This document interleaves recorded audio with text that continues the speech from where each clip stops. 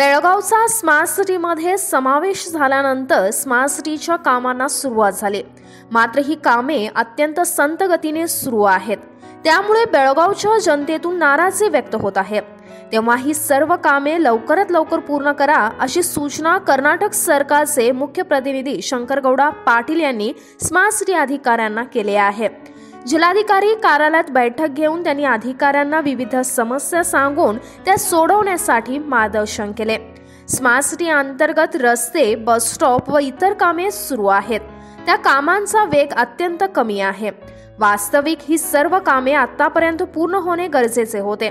मात्र सर्वच भागातील कामे संतगतीने सुरू असून तातडीने ही कामे पूर्ण करावीत असे त्यांनी सांगितले आहे. यावेळी जिल्हाधिकारी एम जी हिरेमठ स्मार्ट सिटीचे व्यवस्थापकीय संचालक शशीधर कुरेर महापालिका आयुक्त एच जगदीश यांच्यासह इतर अधिकारी उपस्थित होते.